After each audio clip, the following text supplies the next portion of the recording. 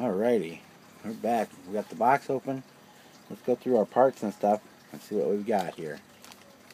First off, we have our clear window parts. They look pretty good.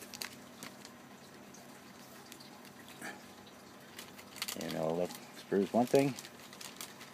Used to, this is the first time I've ever had a Corsair that wasn't molded in blue. It's actually molded in gray. So we get to do some extra painting.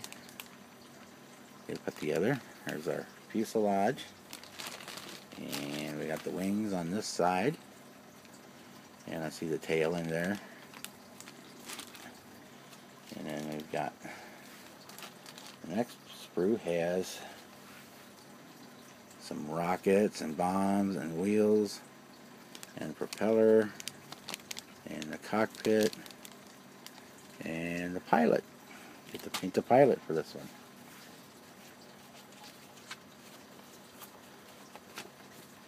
And we've got our instructions here.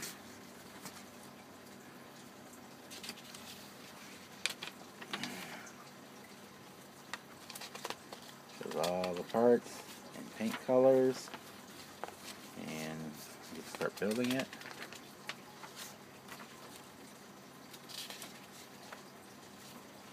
And right here's our decal sheet. Take a look at those.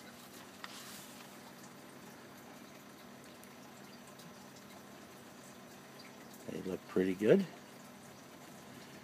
So we're going to get started on this one tonight. We're going to get start getting the parts washed so that we can work on this one later the, over the weekend maybe.